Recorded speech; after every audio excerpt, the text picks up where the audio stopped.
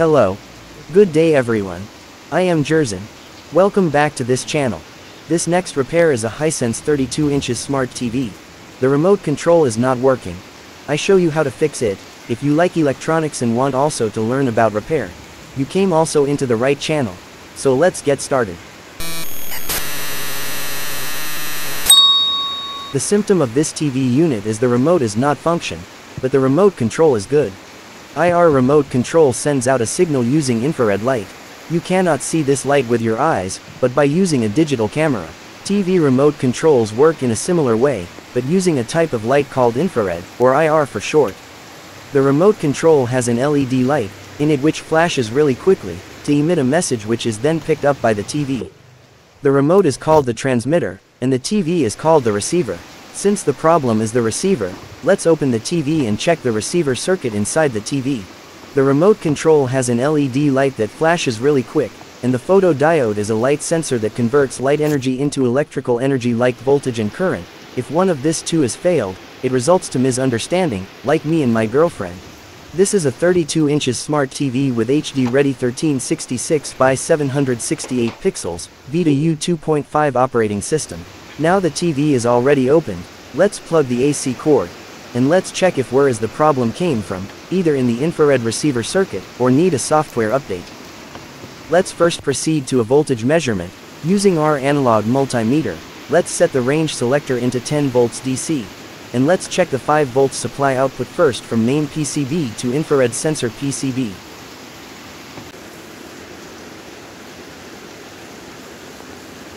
Let's measure the 5 volts of the collector pin of this SMD transistor. The 5 volts is present from this SMD transistor. Now let's check if the 5 volts is going into the infrared receiver sensor. Let's remove this switch and check if the voltage is present. This circuit has a 9 pins, the SCL stands for serial clock, it is a line that carries data, connected to inter-integrated circuit or I2C. The SDA stands for serial data, a line that send and receive data, connected also to I2C, the ground line, the 5 volts line, the key line, LED and infrared receiver line and the 3.3 volts standby LED supply line. Using our analog multimeter, let's measure first the 3.3 volts if it was present.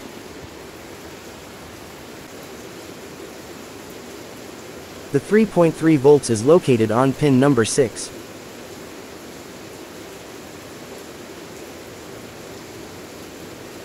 The 3.3 volts is present. Now let's check the 5 volts if it was present. The 5 volts is located on pin number 5.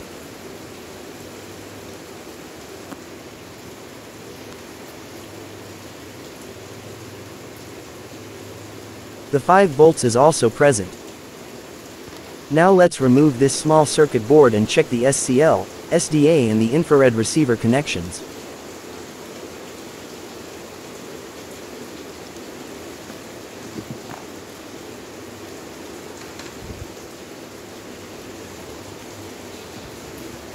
The photodiode is almost corroded, and the LED resistors are also corroded. Photodiode is used as the receiver of data encoded on an infrared beam. Ionic contamination is the cause of circuit board corrosion and cause damaging the parts, leading to electrical and component parts failure. Since we already found the trouble of this TV, let's replace the photodiode, because obviously that the corroded photodiode is the problem. But I don't have this kind of photodiode, because this photodiode is too small and has a 4 pins. Now let's modify the photodiode. I found only a CRT TV photodiode on my locker. This photodiode size much bigger than original, and this photodiode pins has only 3 pins. Let's modify it. The original photodiode has 2 grounds, and the photodiode I have has only 1 ground. But it is okay, and trust me it will work. All we need on this circuit is the 5 volts line, the ground line, and the infrared line. We don't need this blue, red and the 3.3 volts connections. So let's cut it.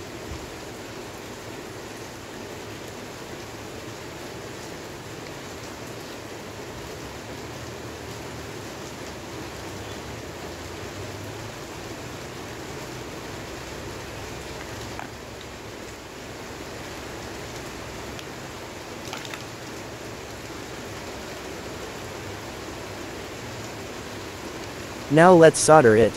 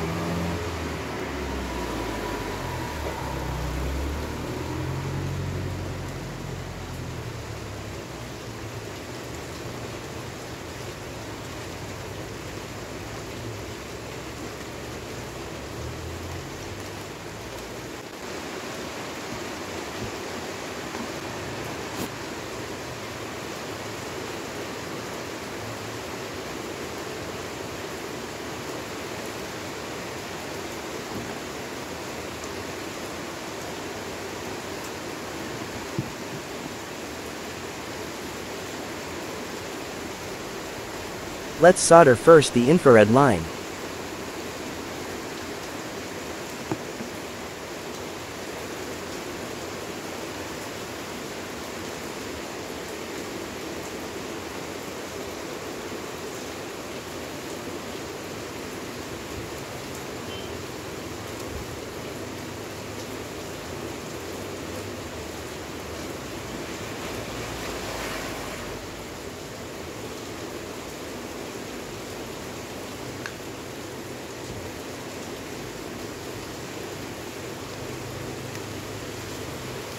The ground line.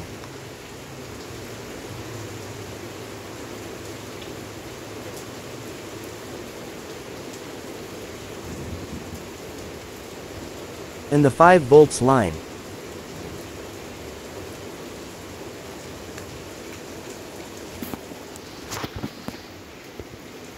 Now the modified photodiode already soldered, let's check if it is working.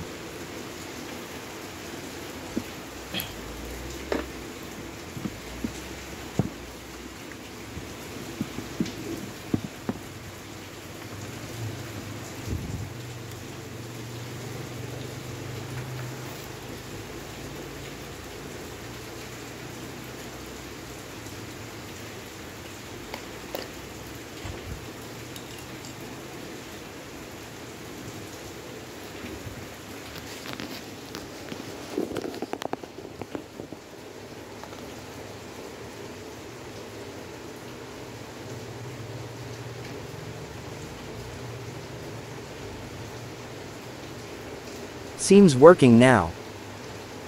A few moments later. I screwed the modified photodiode beside the original photodiode. Now let's insert the socket terminal and put back the back cover. A few moments later. It's hard for me to put the cover back because the modified sensor hitted the speaker, but I already solved it. I am not an designer engineer but I tried. Now let's put back the lock screws.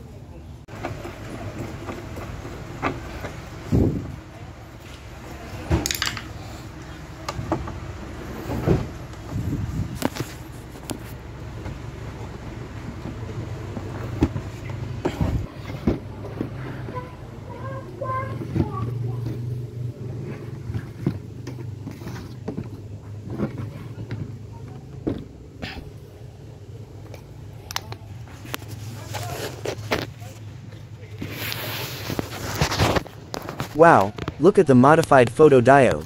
Looks like peeping out the window. I hope you will be fine there.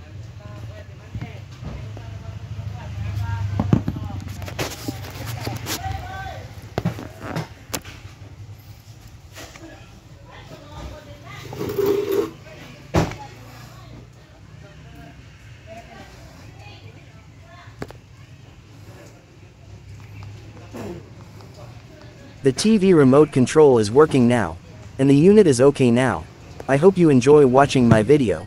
If you found this channel is useful, please support by clicking the subscribe button and hit the notification bell to update on my next video. Thank you for watching.